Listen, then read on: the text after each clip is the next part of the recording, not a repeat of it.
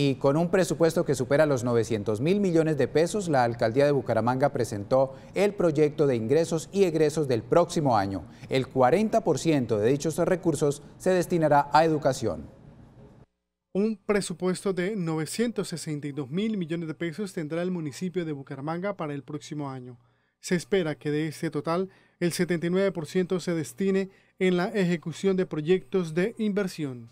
Y otro componente tal vez innovador del presupuesto es lo que tiene que ver con la inyección de recursos a un fondo de estabilización y subvención del sistema integrado de transporte masivo Metrolínea. Ese fondo fue creado el día de hoy por la Junta Metropolitana. Nosotros estamos proyectando que el próximo gobierno inyecte 30 mil millones de pesos para que se construya sobre lo construido, es decir, para que se avance en el progreso del sistema.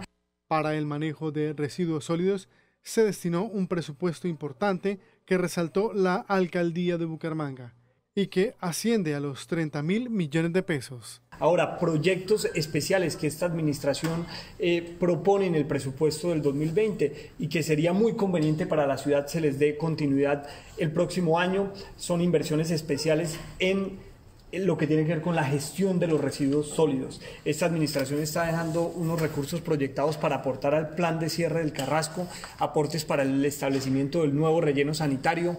Las inversiones más importantes se destinarán a educación con 308 mil millones de pesos, es decir, el 40% del presupuesto total, y salud con 235 mil millones de pesos, que equivalen al 31%.